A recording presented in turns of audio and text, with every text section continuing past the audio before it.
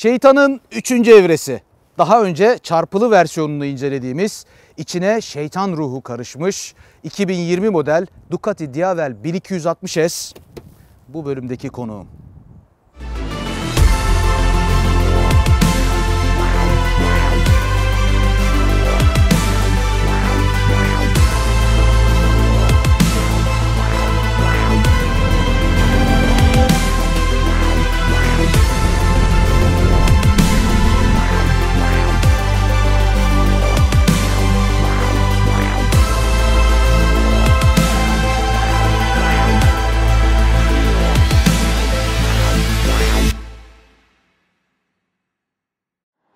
Şimdi şunun bir yolculuk sırasındaki özelliklerini anlatmaya çalışalım. Ducati Diavel 1260 S.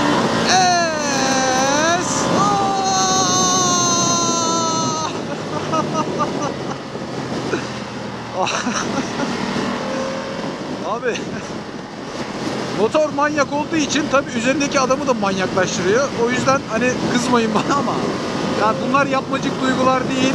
Gerçek duygularım. Ee, gerçekten bunu hissederek e, yaptırıyor motor. Çünkü hakikaten bu motosikletse bu cümleyi kurmayayım. Yok onu kurmayacağım. Onu kurmayacağım. Hakikaten başka bir motosiklet abi. Başka bir şey. Öncelikle hikayesiyle başlayayım. Çünkü çok güzel bir hikayeye sahip bir motosiklet. Ducati Diavel biliyorsunuz şeytan demek. O şeytan denmesinin bazı gerekçeleri, bazı temelleri var. Onlardan kısacık bahsedeyim.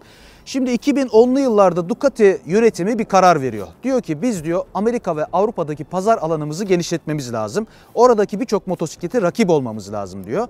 Fakat e, biz İtalyanız, biz Ducati'yiz. Biz böyle bir markayı taklit ederek, ona rakip çıkararak, bir ürün ortaya koyarak e, bu işi yapamayız. Biz farklı olmalıyızdan yola çıkıyor. Ki İtalyanların çoğu böyledir biliyorsunuz. Diyorlar ki farklı bir sınıf yaratalım. Hem cruiser özellikleri olsun, cruiser görünümü olsun, hem naked özellikleri olsun, hem superbike gibi güçlü olsun, hem sokakta kullanılsın, hem uzun yolculuk yapılsın. Yani bütün ihtiyaçlara cevap verebilen bir motosiklet üretebilir miyizden yola çıkıyorlar. Aylarca üzerinde konuşuyorlar, tasarımlar, çizimler derken Ducati Diavel'in prototipini yaratıyorlar. Diyorlar ki ilk başlarda prototipi sunduklarında hani bu motor olmaz. Çünkü hani sınıfı yok, sınıfı belli değil. Hani kime hitap edeceksiniz? Ducati mühendisleri veya Ducati'nin sahibi kimse o karar verecek merci diyor ki hayır biz bir şeytanlık yapacağız. Bu sınıfa şeytan gibi gireceğiz. Motosiklet de böyle olmalı. Diavel ismini koyuyorlar ve bu sınıfa giriyorlar. Dizel versiyonları, özel üretim versiyonları, darklar, karbonlar, stradalar bir sürü versiyonlarıyla geliyor. Bir sürü geliştirmeler yaşanıyor yıllar içerisinde. Her sene üzerine ekleye ekleye geliyor ve zamanla kullanıldıkça, satış rakamları arttıkça, sokaklarda da görünmeye başlayınca Ducati Diavel bu sınıfta acayip bir yere konumlanıyor. Yani çok farklı bir yere konumlanıyor. Sebebi şu, hakikaten birçok sınıfa hitap edebilen ama hiçbir sınıfa özgü olmayan ve kullanıcısını çok çok mutlu eden bir motosiklet oluyor. Ta ki 2015 yılına kadar. 2015 yılına gelindiğinde Ducati diyor ki biz evet böyle farklı bir sınıf ürettik ama bu sınıfın bir de tamamen cruiser tarafına hitap etmemiz lazım. O Amerika pazarında, Avrupa pazarında. Başına X koyarak spor motosiklette cruiser algısının çarpışmasından yola çıkarak X Diavel'i diğer taraftan ortaya çıkarıyor. Diavel bu tarafta kalıyor. Yani sadece cruiser özellikleri, ayaklar önde oturuş pozisyonu, cruiser, chopper özellikleri olan bir modeli yaratıyorlar 2015'te. Bir taraftan da Diavel'e de güncellemeler geliyor. İşte görüntüsünde, tasarımında, materyal yapısında, modellerinde birçok güncellemeler geliyor. Daha sonra yıllar 2019'u gösterdiğinde Ducati mühendisleri evet artık zamanı geldi. Bizim şeytanımız artık harbi harbi e, şeytanlığını göstermesi gerekir diyor. Ve 2019'da her şeyiyle tamamen yepyeni bir motosiklet haline geliyor. Öncelikle üzerine Ducati'nin o Alman teknolojisi olan 1260'lık motor bloğunu üzerine yerleştiriyorlar. Tasarımı tamamen değiştiriyorlar. Aynı zamanda aerodinamik yapıyı yani aslında motosiklet sürüş hissiyatında değiştirerek üzerine ekleyerek aslında değiştirmeden üzerine ekleyerek 2019 yılında Ducati Diavel 1260'ı piyasaya sürüyorlar. Yani hikaye 2011 yılına dayanıyor. 2011 yılından 2019 yılına kadar evrilen bir süreç var. 2019'dan sonra da başka bir yere geliyor Ducati Diavel. Bak, bak birinci vitese düşeyim. Bak son son devrine kadar geliyorum. Birinci vites 107'de bitti. İkinci vites 141. Üçüncü vites Üçüncü vites 180'de 182'de bitti. Yani üçüncü viteste 182'yi rahat bulabiliyor abi. Böyle bir şey var. Yani hani zorlanarak böyle hadi yavaş yavaş değil. Birden buluyor abi. Birden. Yani müthiş bir güç var motorda. Müthiş bir güç. Yani bunu sadece abi 160 e, beygir, işte 130 Nm tork olarak değerlendirilmez bu özellik. İvmelenme gücü müthiş. Yani motorun özelliği şu. Abi alt devirleri bile dolu. Her deviri dolu motorun. Her deviri. Yani boş yok motorda. Boş yapmayan bir motor öyle söyleyeyim. Avrupa'da bazı sınıflarla kıyaslamalar yapıyorlar. Mesela yine Türkiye'de Corlas bünyesinde bulunan Triumph Rocket 3. Hani 2500 cc'lik bir motosikleti var ya Triumph'ın. Ee, Bu sene işte yenilendi 2020 yılında. Mesela onunla kıyaslayanlar var. Çok ilginç yani birbiriyle kıyas kabul etmez bence ama onunla mukayese edenler var. Yamaha'nın V-Max ile mukayese edenler var. Ee, Harley Davidson'ın V-Rod'uyla kıyaslayanlar var. O sınıfta değerlendirenler var. Bir de sıkı durun Honda Gold Wing ile kıyaslayanlar var. Çok ilginç. Çünkü motosikletin sınıfı yok. Neyle kıyaslayacağını bilmiyor insanlar. Gerçekten sınıfsız bir motosiklet. Yani cruiser deseniz değil, naked deseniz değil, superbike deseniz değil ama hepsinden de var. Böyle bir özelliği var. Hepsinden var. Ha- Harbi harbi var yani. Bu kadar böyle altını doldurdum, bu kadar böyle övdüm övdüm de bu motoru nasıl anlatacağım? 3-4 gündür de aslında bunu düşünüyorum. Nasıl anlatacağımı düşünüyorum. Çünkü hani neresinden tutsam bir tarafı eksik kalacak veya tamamını anlatmaya çalışsam herhalde 3-4 bölümlük bir şey çıkar bu, video çıkar bu motosikletten. O yüzden 20 dakika içerisine sığdırmak için kendime 4 tane başlık belirledim. Bu başlıkların birincisi tasarım. Tasarım çok önemli. Ekranda göründüğü gibi değil, onu ne söyleyeyim. Ben de ilk fotoğraflarını gördüğümde, ekranda gördüğümde ya işte falan demiştim. Ama yanına geldiğinizde abi müthiş dedirtiyor.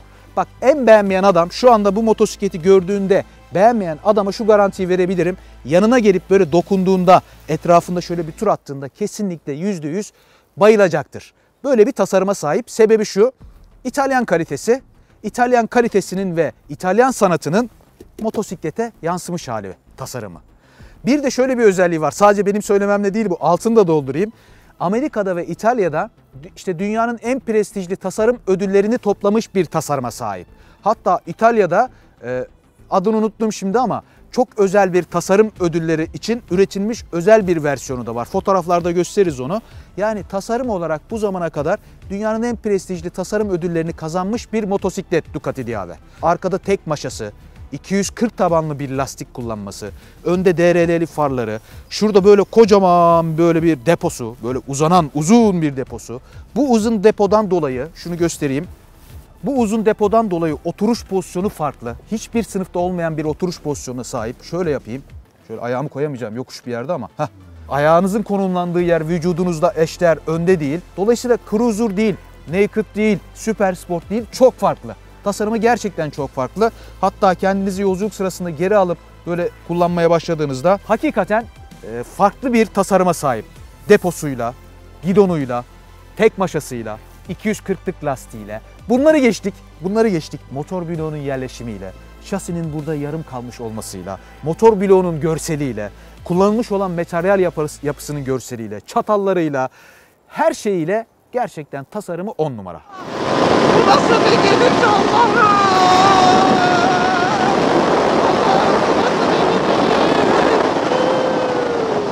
Şurada durayım da şu belki şey olabilir. Nedir o? Yok değilmiş. Ee, ENS aracı zannettim. Dedim durup durduk yere şey ceza yemeyelim. Allah'ım ya bu bu his bu his anlatılamaz abi. Bak bunu anlatarak size geçiremem imkanı yok. İkinci başlığım ise bu motoru anlatabileceğim, tasarımdan sonra anlatabileceğim yönü motor bloğu. Üzerindeki motor bloğu ki çok çok önemli. Aslında bizim Ducati e, Multistrada 1260'lardan bildiğimiz motor bloğu bu. İlk olarak XDAVL üzerinde e, koyulmuş, oradan tanıdığımız motor bloğu. Değişken zamanlamalı sübap teknolojisine sahip olan, daha önce var olan 1200'lük motor bloğunun aksine alt devirlerinden itibaren müthiş bir doluluk, müthiş bir tork, müthiş bir güç veren, işte 159 beygir, 129 Nm tork üreten, kullanılmadan anlatılmayacak bir motor bloğu var. Öyle söyleyeyim. Hani normalde biz motorları anlatırken e, devir güç oranlarını belirleriz. İşte şu devirde şu gücü veriyor, bu devirde bu de gücü veriyor diye. Altta da görüyorsunuz onu ama bunun için geçerli değil bu. Bunun için geçerli değil. Alt devirlerinden itibaren motor dolu müthiş dolu ve müthiş hızlı bir motosiklet, müthiş güçlü bir motosiklet. Bunun yanında da 244 kilogram bir ağırlığı var. Yani çok hafif bir motor denilemez ama o kadar güçlü bir motor bloğu var ki hani hafif geliyor yolda. Fakat burada evirip çevirirken, normalde park ederken falan ağır bir motor. Böyle hafif bir motor olarak değerlendirilemez. 3 tane sürüş modu var içerisinde. Bir tane sport, bir tane touring, bir tane urban. Ducati'lerin her modelinde bu vardır. Bütün modları kendinize göre kişisel, kişisel, kişiselleştirebiliyorsunuz. Söyleyemedim. Dolayısıyla hani sport mod şöyle, urban modu böyle demenin bir anlamı yok. Urban modunu da çok sert hale getirebilirsiniz. Sport modu da yumuşatabilirsiniz. Fakat fabrikasyon olarak geldiğinde sport modu manyak. Manyak, tek kelimeyle manyak. Touring modu daha uysal. Bütün üzerinde var olan gücü verebilen fakat gaz hassasiyeti daha yumuşak olan bir mod. E, motor gücü orta seviyelerde. Urban modu ise hani şehirde kullanırken biraz daha uysal kullanayım. Böyle gazı verdiğimde böyle ivmelenmeyeyim, daha böyle güvenli kullanayım diye üzerine koyulmuş bir mod ve her modu söylemiş olduğum gibi kişiselleştirebiliyorsunuz. 3 tane sürüş modu var. Çok başarılı sürüş modları var.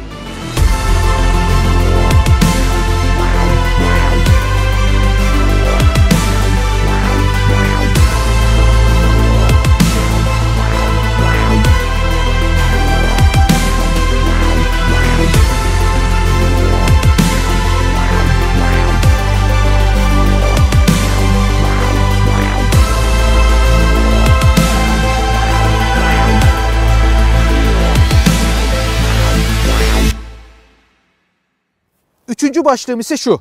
Teknolojisi. Tasarımı değerlendirdik, motoru değerlendirdik. Teknoloji olarak da çok farklı, çok özel bir motor. Ducati'nin var olan bütün teknolojilerini hemen hemen kullanıyor. Şimdi hani led farından, arkada kuyrukta bulunan stopundan, işte önde konumlanmış olan sinyallerinden bahsetmeme gerek var mı bilmiyorum ama bu da bir teknolojidir. E, bu led sistemi de teknolojidir. Anahtarsız çalıştırmasından bahsetmeme gerek yok. Çünkü artık 2020 olmuş yıl. Artık Ducati her modelinde anahtarsız çalıştırmayla geliyor. Bunun haricinde de hani motor güvenlik teknolojileri aslında asıl olan burada. Mesela üzerinde e, teker kontrolü var. Ducati Wheelie, Wheelie kontrol diye geçiyor. Onların kademeleri var. Kad, e, modlara göre kademelerini ayarlayabiliyorsunuz. Çünkü motosiklet o kadar güçlü ki gazı verdiğinizde tekere gelen bir motor olduğu için teker kontrolü üzerine eklenmiş. Bunun haricinde traction kontrol var. 8 kademe galiba. Bunun yanında ABS tabi standart. 3 kademeli ABS'si var. Açıp kapatılabiliyor. Ee, bunun yanında viraj ABS'si var tabi üzerinde.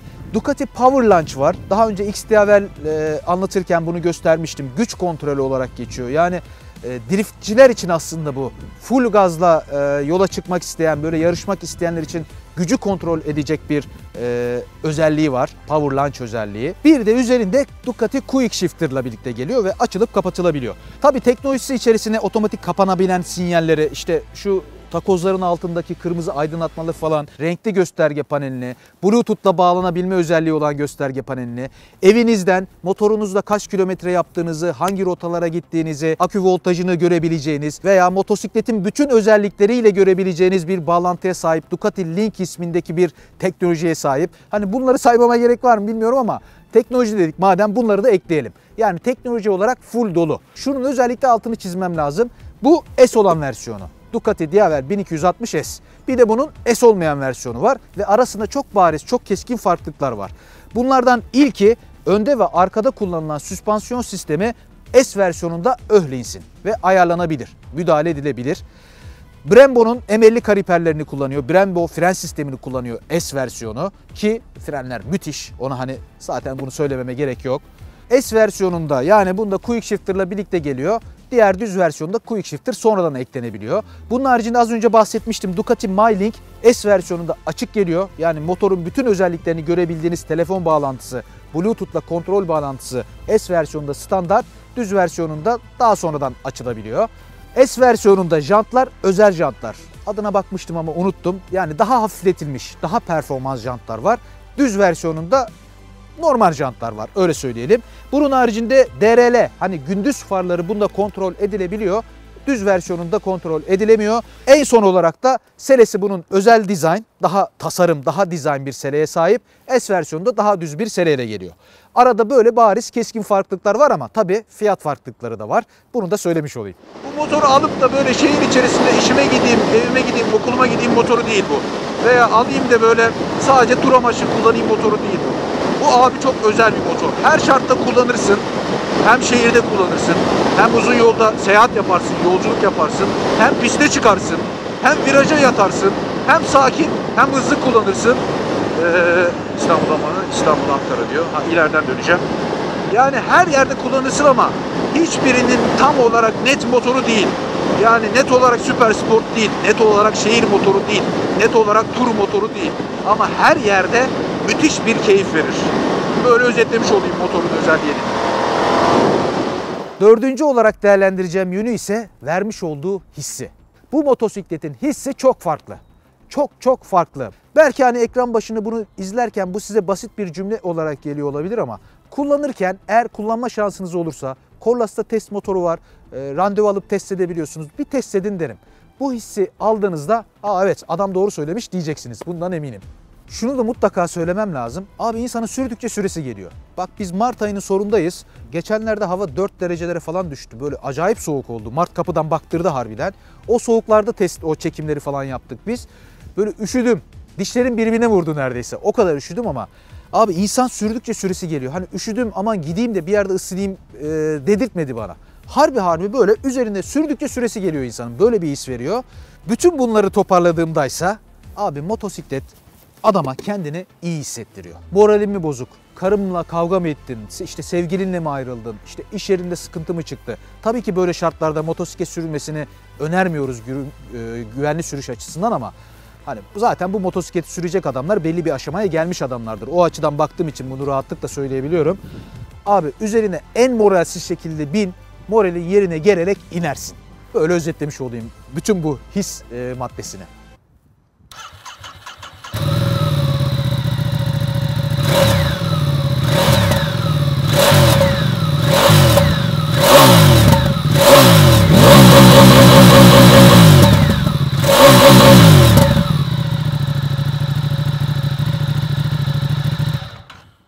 Şimdi bu motosiklette eksi olarak değerlendirebileceğim ilk yönü şu. İlk yönü. Şöyle oturayım abi. Az önce de göstermeye çalıştım hatta. Hani oturuşunu anlatırken farklılığını. E, motosikletin bu depo tarafı o kadar uzun ki, o kadar böyle uzak ki şeye, e, ön tarafa. Dolayısıyla motosiklete oturduğunuzda şöyle düşürmeden şöyle oturmaya çalışayım. Böyle öne eğilerek, öne kaykılarak kullanmak zorunda kalıyorsunuz. Bu kullanım pozisyonu bir süre sonra hani bir saatlik bir kullanımdan sonra omuzlarda, işte dirseklerde, popoda özellikle. Poponun çünkü belli bir noktasıyla baskı yapıyor. Bir de aynı zamanda buradan ne kadar sıkarsanız sıkın belinize yük vererek aslında e, kullanıyorsunuz motoru. Bir süre sonra hani insanda biraz şeye sebep oluyor. E, sağında solunda ağrımalara sebep oluyor. Fakat bunun çözümü var. Ducati bunu düşünmüş. Eğer e, bazı kullanıcıların biliyorsunuz beden boyu belden yukarısı daha kısa olur. Bazıları daha uzun olur. Bazıları bacaktan uz- uzun olur. E, bunun için şey üretmişler. Daha sürücüye yakın olan gidon üretmişler. Bunun siparişi verilip daha sürücüye yakın bir gidonla değiştirilip daha dike yakın bir oturuş pozisyonu sunuyor. Fakat bunu ilk kullanacak bir kullanıcı bu oturuş pozisyonunu sevmeyebilir. O yüzden bunu eksiler içerisinde, eksi demeyeyim de hani beğenilmeyecek yönler içerisinde şöyle atlayayım. Beğenilmeyecek yönler içerisinde anlatmak istedim. e, menüsüne şuradan 3 tuşla kombine ediyor. Yukarı aşağı ve menü tuşu. Dördüncü tuşu yok. Bu en beğenmediğim yanı. Bu motorun en beğenmediğim yanı bu abi. Mesela diyelim ki siz e, şeye geleceksiniz. E, info servise geleceksiniz. Dediniz ki ya vazgeçtim ya. Vazgeçtim bir geri geleyim diyeceksiniz ama gelemiyorsunuz çünkü geri tuşu yok. Mecburen geri gelmeniz için bu menü içinde dolaşa dolaşa dolaşa gitmeniz lazım. Veya şurada DRL kontrolü açtınız. Otomatik manuel. Diyelim ki otomatiği ayarladınız. Okey dediniz. Exit'a bastınız. Sonra dediniz ki Bluetooth'a geleyim. Şöyle bir sağdan soldan geleyim şeyi yok abi. Böyle tek tek tek tek basa basa böyle gelebiliyorsunuz ancak. Yani bu en beğenmediğim özelliği. Yani eksi bulamadım ama bunu eksi olarak söyleyeyim. Hakikaten eksi ama. Hani eksi bulmuş olmak adına değil. Ee, bu şuna abi bir dördüncü bir geri tuşu gerekiyor bu bu kombine. e, elektronik süspansiyon donanımıyla gelmiyor oluşu. Ben, bana göre bir eksiklik, bir ihtiyaç. Sebebi şu, Ee, arkada 240'lık 240 tabanlı bir lastik görüyorsunuz ki müthiş bir viraj kabiliyeti var bu motosikletin. Müthiş. Öyle böyle değil. Yani 240 tabanı gördüğünüzde hani mutlaka siz de şunu söylersiniz. Hani viraj yatmaz bu motosiklet dersiniz ama birçok motosikletten çok daha iyi viraj yatıyor. Hatta şöyle bir dedikodu var bu motosiklet hakkında. Dünyada en iyi viraja yatan ilk 3 motosiklet arasına giriyor falan diye dedikodular da var. Bilmiyorum onu kesinleştiremedim, araştırdım bulamadım ama hani viraj kabiliyeti çok iyi. Bunu kesinlikle altını çizeyim ama nerede iyi biliyor musunuz? Sağlam asfaltta, düz asfaltta, problemsiz yerde. E, Türkiye'nin yolları malum. Biz de hani test sürüşümüzü şeyde yaptık. Şile yollarında falan o darlık yollarında falan yaptık. Hani oranın yollarını da bilenler bilir. Böyle sürekli yamalar, e, farklılıklar, işte kod farklılıkları sürekli böyle bir kasisli bir e, yoldur orası. Orada ben şunu söyledim. Dedim ki abi keşke elektronik süspansiyon olsaydı bunda da şu ayarlarımı hani manuel elle yapmayla uğraşmak zorunda kalmadan ekrandan yapıp öyle sürebilseydim dedim. Çünkü bu 240'lık lastik bozuk yollarda e, çok iyi bir geri dönüş alamıyorsunuz. E, bir de lastik tabanı geniş olduğu için yol hissiyatını çok fazla verdiği için bozuk olan yollarda kullanım hissiyatı kötü. Zaten bu motosikletin üretim amacı da hani Türkiye şartları düşünülmemiştir herhalde. Yani bozuk yollar ya Türkiye'de asfalt kötü ona göre de üretelim dememişlerdir. Hani pistlerde daha böyle modern çağdaş ülke yollarında kullanmak için üretilmiştir. O yüzden elektronik süspansiyon eklenmemiş. Tabi elektronik süspansiyon eklenirse fiyatına da etki edecekti, ağırlığına da etki edecekti. Öyle de bir durum var ama ben kullanım sırasında keşke elektronik süspansiyon olsaymış dedim. Üçüncü beğenilmeyecek yönü, beğenilmeyecek değil mi? Bunu kimse beğenmez herhalde. Üçüncü eksisi diyeyim, eksi olarak değerlendirebileceğim. Kesin eksi olan yönü şu, fiyatı. E, fakat fiyat konusunda biliyorsunuz hep aynı şeyleri söylüyoruz. E, motosikletin fiyatının yüksek olması sebebi getiren distribütör veya hani bundan para kazanmak isteyenler değil. Ülkenin ekonomisi, dolar, euro kuru, motosiklete getirilen ek vergiler, yüksek vergiler. Dolayısıyla bu motosikletin fiyatı yüksek. Yurt dışı standartlarına baktığımızda çok makul geliyor, alınabilir oluyor. Ama Türkiye'ye baktığımızda alınabilirin bir tık yukarısına çıkıyor. Diyanet! Diyanet! Allah'ım sana geliyorum Allah'ım! Ah! Allah! Sonuç olarak özetleyeyim. Motosikletin böyle teknik detaylarına tek tek girmedim farkındaysanız. Ağırlıklı olarak böyle hissinden bahsetmeye çalıştım. Çünkü bu motorun özel yanı vermiş olduğu, sürücüye vermiş olduğu his. Tabii ki teknik detaylarına istersek gireriz. İşte e, 240'lık lastikte nasıl viraja yatıldığına, egzoz vanasının ne işe yaradığına, e, kullanılan süspansiyon sisteminin ayarlarının nasıl yapıldığına veya motorun özel karakterine, motorun hangi devirlerde ne kadar güç verdiğine, nasıl kullanıldığına, sürüş modlarına hepsine değinebilirdik ama bu kadar uzatmaya gerek yok. Bu motor hissiyle anlatılması gereken bir motor olarak düşündüğüm için böyle anlatmayı tercih ettim. Umarım geçirebilmişimdir. Lütfen beğenip abone olmayı unutmayın. Tekrar görüşmek üzere. Hoşçakalın.